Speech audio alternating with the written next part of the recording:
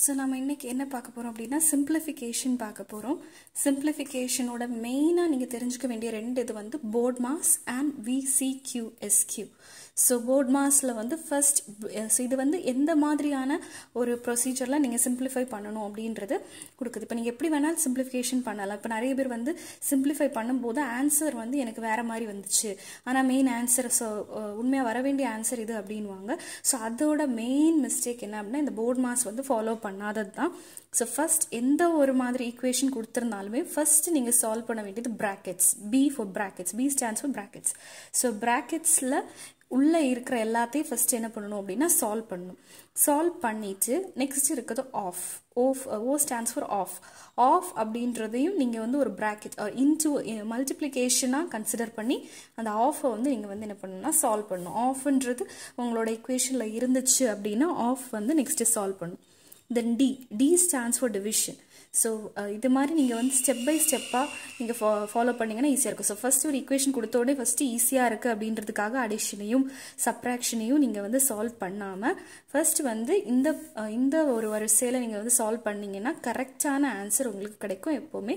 So first bracket அப்புறமா of next என்ன அப்படின்னா டிவிஷன் ஏதாச்சும் டிவிஷன் கொடுத்துருந்தாங்க அப்படின்னா அந்த கொஷனில் அதை வந்து நெக்ஸ்ட்டு சால்வ் பண்ணணும். தென் நெக்ஸ்ட் வந்து என்னென்னா multiplication M stands for multiplication so கொஷனில் ஏதாச்சும் மல்டிப்ளிகேஷன்ஸ் இருந்துச்சு அப்படின்னா நீங்கள் அந்த மல்டிப்ளிகேஷனை நெக்ஸ்ட் என்ன பண்ணணும்னா சால்வ் பண்ணணும். And the next is A A stands for addition so அடிஷனே first பண்ணக்கூடாது. எல்லாருமே பண்ணுற பெரிய மிஸ்டேக் அது. ஈஸியானது அப்படின்னா நமக்கு அடிஷன் தான். மல்டிப்ளிகேஷனை விட நமக்கு அடிஷன் ஈஸியாக இருக்குது அப்படின்றதுக்காக ஒரு கொஷின் கொடுத்த உடனே வந்து நம்ம ஃபஸ்ட் அடிஷனை வந்து சால்வ் பண்ணக்கூடாது. ஸோ எல்லா இந்த ஸ்டெப்ஸ் எல்லாம் முடிச்சா அப்புறமா என்ன அடிஷன்ஸ் இருக்கோ அதை வந்து சால்வ் பண்ணணும். And next S S stands for subtraction so ஏதாச்சும் சப்ராக்ஷன்ஸ் கொடுத்துருந்தாங்க அப்படின்னா நீங்கள் அதை வந்து நெக்ஸ்ட்டு சால்வ் பண்ணணும். ஸோ இது இம்பார்ட்டன்ஸ் அந்த போர்டு மாஸ் வந்து ஒரு ஈக்குவேஷன் சால்வ் பண்ணுறதுல ஒரு ஈக்குவேஷன் சிம்பிளிஃபை பண்ணுறதுல இம்பார்ட்டன்ட் அப்படின்னா இந்த BODMAS next விசிக்யூஎஸ்கியூ so brackets அப்படின்னு ஃபஸ்ட்டு சொன்னோம்.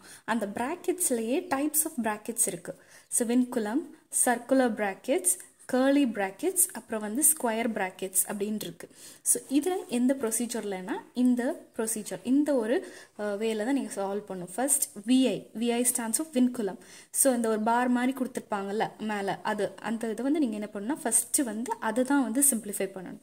Next CI CI stands for circular brackets so next வந்து சர்க்குலர் ப்ராக்கெட்ஸ்க்குள்ளாடி என்ன இருக்கோ அதை சால்வ் பண்ணும் for example I show you so இப்போ ஒரு uh, ஸ்கொயர் ப்ராக்கெட்ஸுக்குள்ளே இப்போ நமக்கு வந்து த்ரீ இருக்குது த்ரீ ப்ளஸ் அப்புறம் ஒரு கேர்லி ப்ராக்கெட்டில் டூ ப்ளஸ் ஃபைவ் இப்படி இருக்குன்னா இதில் நீங்கள் ஃபஸ்ட்டு எதை சால்வ் பண்ணணும்னா இந்த கேர்லி ப்ரா சாரி சர்க்குலர் ப்ராக்கெட்ஸுக்கு உள்ளே இருக்கிறதுனா ஃபஸ்ட்டு என்ன பண்ணணும்னா சால்வ் பண்ணணும்.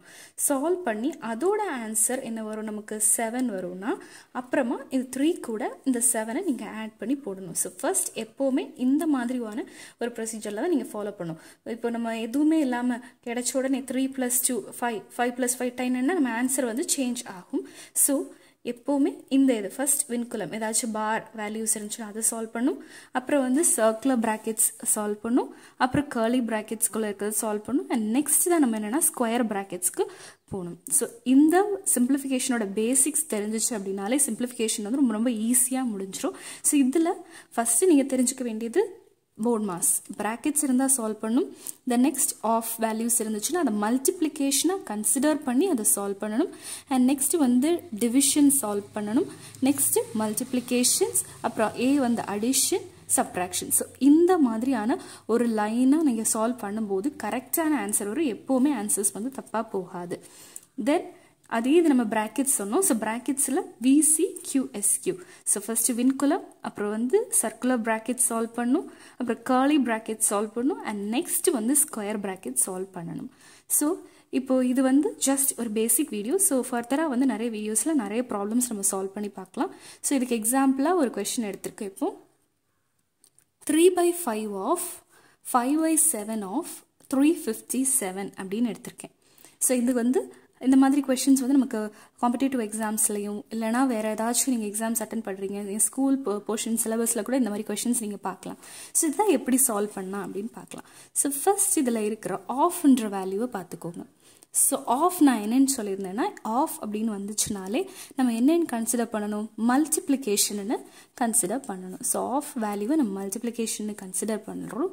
ஸோ அப்போ என்னென்னு எழுதணும் நம்ம? விச் இஸ் ஈக்குவல் டு அந்த த்ரீ பை ஃபைவ் அப்படியே இருக்கட்டும். ஆஃப் வேல்யூவை நம்ம எப்படி எடுத்துக்கணும்? இன்டூவாக எடுத்துக்கணும். எப்போவுமே ஆஃப் வேல்யூ நீங்கள் கொஷனில் பார்த்தீங்கன்னாலே ப்ராக்கெட்ஸ் இல்லைன்னா ஃபஸ்ட்டு ஆஃப் வேல்யூ தான் நீங்கள் வந்து சால்வ் பண்ணணும். ஸோ ஆஃப் இன்டூன்னு போட்டுக்கிறோம்.